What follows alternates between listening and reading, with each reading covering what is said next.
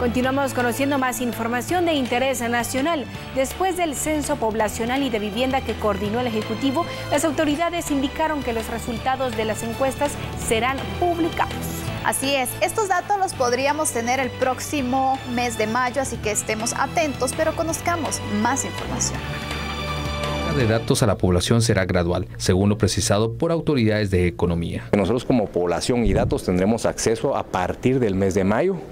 Em, creemos también que es lo más sano, recordemos que, recordemos que estamos ahora a las puertas de un evento electoral y creo que eh, es más sano para todos que la información fluya a partir de ese mes eh, con todo el proceso censal pues será una herramienta bastante fuerte para todos los sectores de la, de la sociedad guatemalteca para poder tomar decisiones. Se evalúa la comparación de información con RENAP, mientras que con el TSE dicha información no será utilizada para este proceso electoral. Básicamente no hay ninguna vinculación con el evento electoral, recordémonos también eh, que la ley electoral dejó de tener una vinculación eh, con el censo para lo que es representación de diputados, entonces no hay ninguna vinculación. Lo que puedan aportar otras instituciones son eh, cuestiones de apoyo y de cruce de información para validar información estadística, pero creemos que con la medición censal superior a un 96%, pues estamos en, un buen, realmente en un buen